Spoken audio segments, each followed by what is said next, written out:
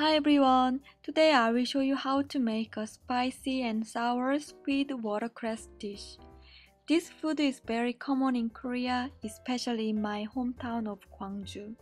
The unique flavor of watercress is great in combination with the boiled squid and the spicy sauce. Prepare one medium squid.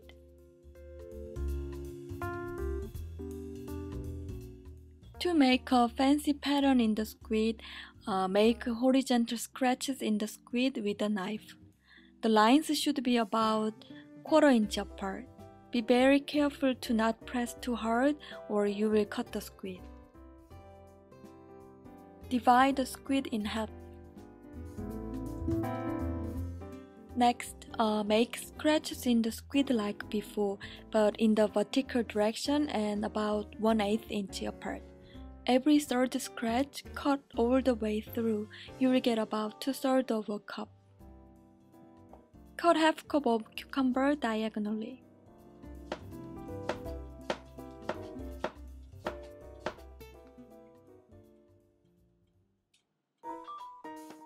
Slice one third cup of onion thinly. Prepare one handful of watercress. Remove the bad parts and wash it. Cut the watercress into 3 inch length. Normally you can just cut them in half. In boiling water, add the watercress and some salt. Boil it for about 20 seconds on high. The salt and the short boiling time will help keep the watercress green. 20 seconds later, quickly put the boiled watercress in ice water.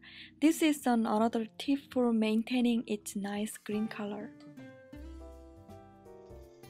In 2 cups of boiling water, add a squid.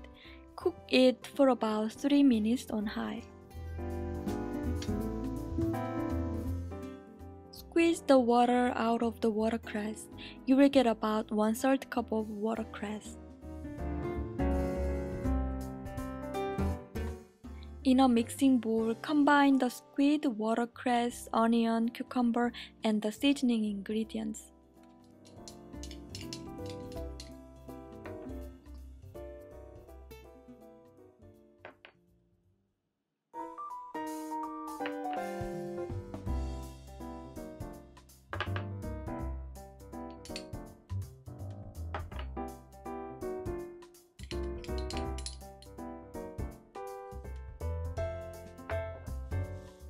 Mix everything together.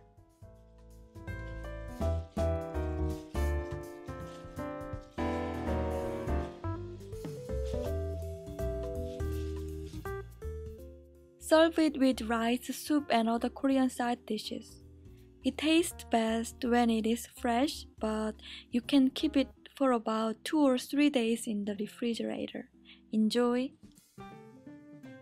The contest result is coming soon, so please stay tuned.